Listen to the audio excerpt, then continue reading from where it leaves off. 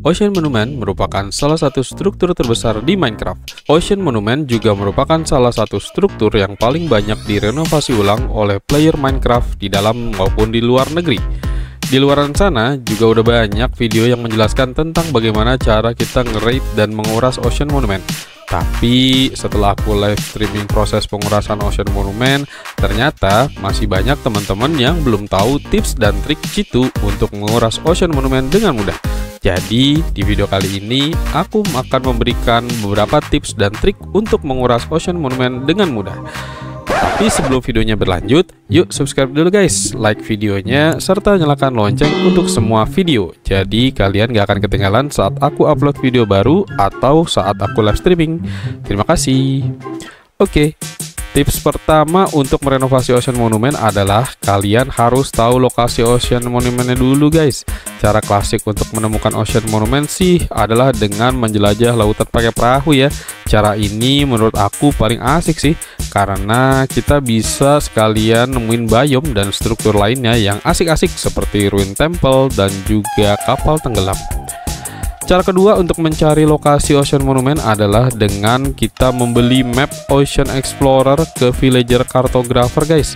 Dengan pakai map ini kita nggak perlu pusing-pusing cari Ocean Temple secara manual. Tinggal ikutin aja mapnya.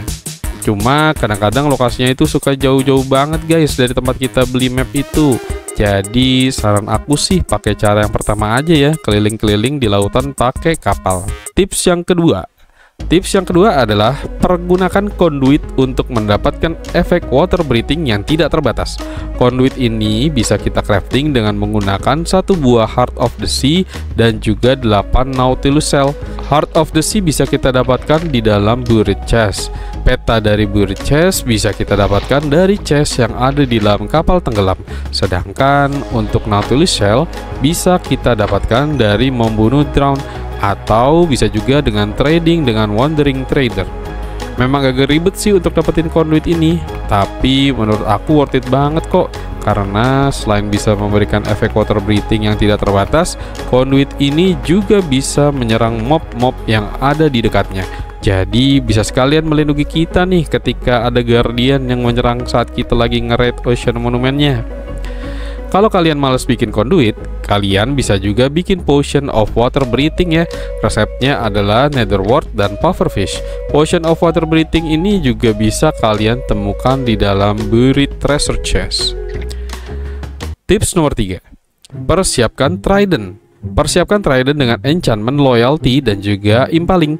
Trident ini sangat berguna untuk melawan hewan-hewan laut karena memang fungsinya itu untuk melawan hewan-hewan laut sih Trident ini. Kalau pakai bow atau crossbow sebenarnya bisa juga, tapi bakalan kurang efektif untuk melawan mob-mob yang ada di bawah air.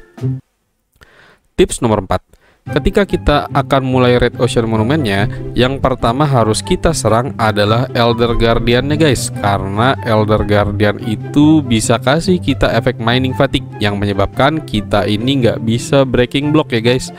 Nah, untuk menghilangkan efek mining fatigue ini, kita bisa bawa bucket of milk.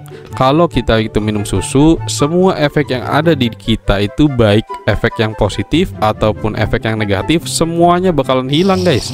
Misalkan kalian minum water breathing potion dan kalian itu kena mining fatigue. Terus kalau kalian minum susu, maka efek water breathingnya juga akan hilang guys.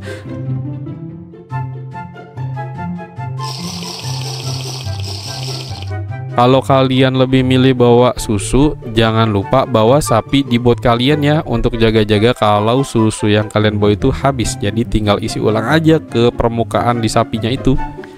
Tips nomor 4. Kalau kalian kena mining fatigue, kalian tetap bisa kok jebol dinding Ocean Monument. Caranya gimana bang? Nah caranya adalah dengan menggunakan TNT. Tapi bang, TNT kan nggak bisa meledak di dalam air. Gimana dong? Nah iya betul. Makanya kita harus taruh TNT-nya di antara blok solid lainnya kayak gini nih. Nah, abis itu kita tinggal taruh redstone di atasnya dan bisa jebol deh TNT-nya ini. Tips nomor 5 Loot yang ada di Ocean Monument itu ada dua guys. Yang pertama adalah Gold Block Dan yang kedua adalah SpongeBob guys.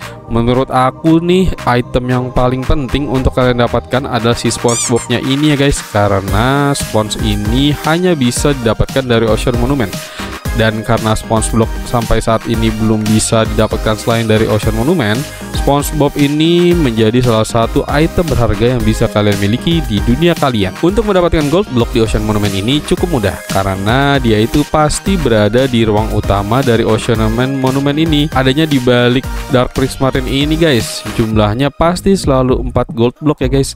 Sedangkan untuk si SpongeBob ini yang agak tricky guys nyarinya. Ruangan SpongeBob ini ada dua. Pasti di setiap Ocean Monument itu ada dua ruangan SpongeBob. Biasanya sih yang pertama ada di atas dekat pintu masuk Ocean Monument guys. Dan yang kedua itu ada di salah satu sisi atap pada sayap Ocean Monument ini ya guys. Karena ruangan SpongeBob ini gak ada ciri-ciri khususnya Kalian jangan ragu-ragu ya guys untuk menghancurkan tembok-tembok di Ocean Monument ini yang pasti harus bunuh Elder Guardiannya dulu guys. Jadi ketika kalian nyari ruangan SpongeBob itu akan jauh lebih mudah. Tips nomor 6 SpongeBob yang kalian dapatkan di Ocean Monument itu adalah spons yang masih basah guys. Untuk bisa kalian gunakan untuk mengeringkan suatu perairan spons ini harus dikeringkan dulu. Cara untuk mengeringkan SpongeBob ini ada dua. Yang pertama adalah dengan cara dimasak di dalam furnace dan yang kedua adalah dengan meletakkan SpongeBob ini di nether langsung. Ketika kita meletakkan SpongeBob basah di nether, dia akan secara langsung mengering guys. Nggak perlu pakai bahan bakar sama sekali karena nether itu kan katanya neraka ya. Neraka itu panas banget. Jadi ketika si SpongeBob basah ini kita taruh di nether, Sponge itu bakal langsung mengering. Nah, cara kedua ini menurut aku sih lebih enak ya guys karena kita nggak perlu bahan bakar dan juga lebih hemat waktu. Tips nomor 7 Gunakan spons satu persatu. Banyak tutorial di YouTube yang tidak memberikan kalian cara yang paling cepat untuk mengeringkan Ocean Monument. Kebanyakan mereka placing semua sponsnya dulu, terus baru dikumpulin lagi. Emang sih dengan cara ini lebih kelihatan progresnya mana-mana aja yang harus yang harus dikeringin, mana-mana aja yang sudah dikeringin.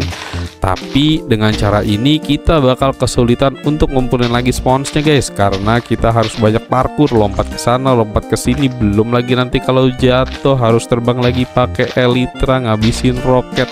Pokoknya ribet guys cara ini. Nah, di sini aku akan kasih tahu cara paling cepat untuk ngeringin Ocean Monument menggunakan spons, yaitu dengan memegang spons di tangan kiri dan hoe di tangan kanan.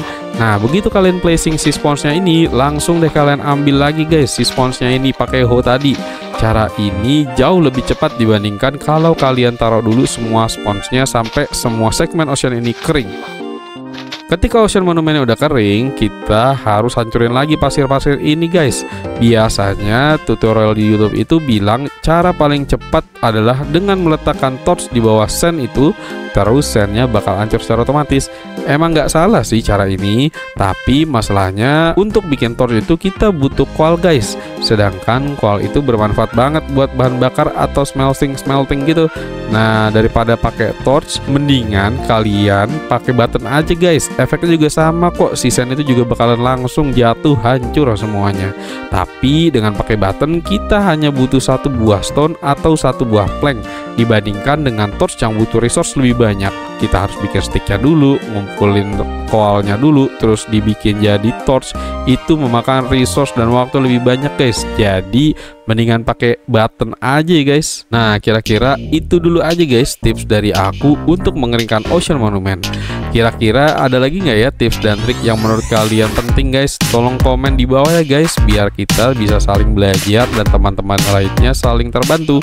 Terima kasih. Jangan lupa untuk subscribe like dan juga nyalakan loncengnya. Bye bye